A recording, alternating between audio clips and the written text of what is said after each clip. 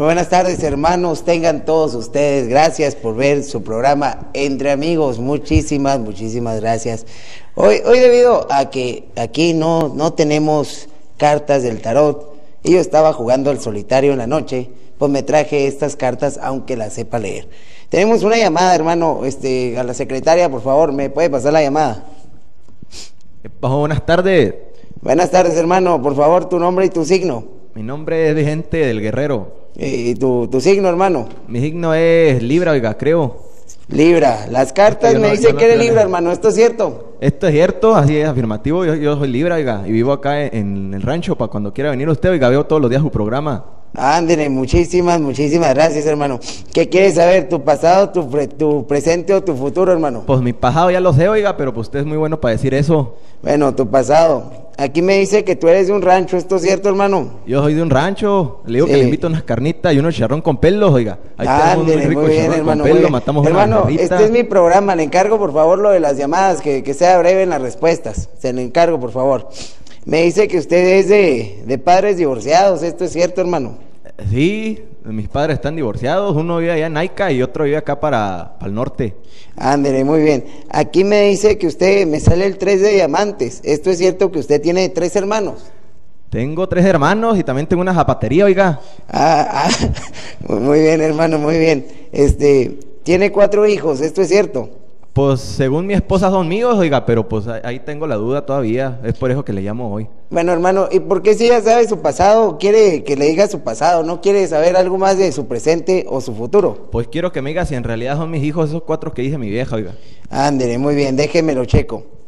Mira, aquí me sale el Joker, hermano. Este dice que se lo estaban haciendo medio menso, que estuvieron jugando con usted. Para que vea esta carta. A ver, si me la puedes enfocar, por favor. Para que el hermano vea, ya que está viendo este programa ya desde su rancho. Mira, enfócamela, hermano, para que vea donde lo hicieron menso al propio hermano. Ahí está tu carta, ¿la ves, hermano? Y, pero esto significa que cuántos hijos son míos o cuántos, porque yo los he mantenido, oiga.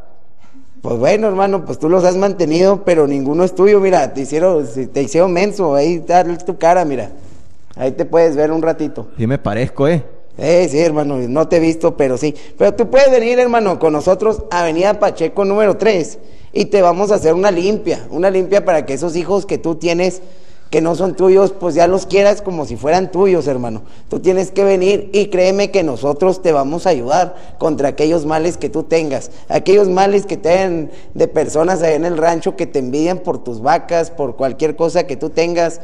Nosotros te vamos a ayudar por la mínima cantidad módica, simbólica de 1500 pesos, hermano. Tú nada más vienes y aquí te vamos a ayudar y te vamos a regalar un amuleto de la buena suerte que la verdad no sirven, pero te vamos a ayudar. ¿Cuándo puedes venir, hermano? Yo, yo, yo estoy allá pues en tres días en lo que en el caballo, oiga, pero tengo que llevar mi shampoo para la limpia o qué, qué llevo, oiga, mi jabón. No, no, hermano, aquí nosotros tenemos todo para la limpia. Aquí te hacemos una limpia con huevo y todo, tú no te preocupes. De ese jabón grandote, oiga. Perdón, hermano. Jabonzote ese, oiga. ¿O de cuál jabón usan ustedes? Pues de, de todos, de todos. Tú no te preocupes. Aquí te vamos a limpiar de pies a cabeza muchas gracias. Oye, hermano, permíteme, y si te puedes traer también a tu esposa porque ella tiene un mal, ella está embarazada en estos momentos. Pues sí, pero ese, sí no es mi hijo, oiga, porque nos divorciamos.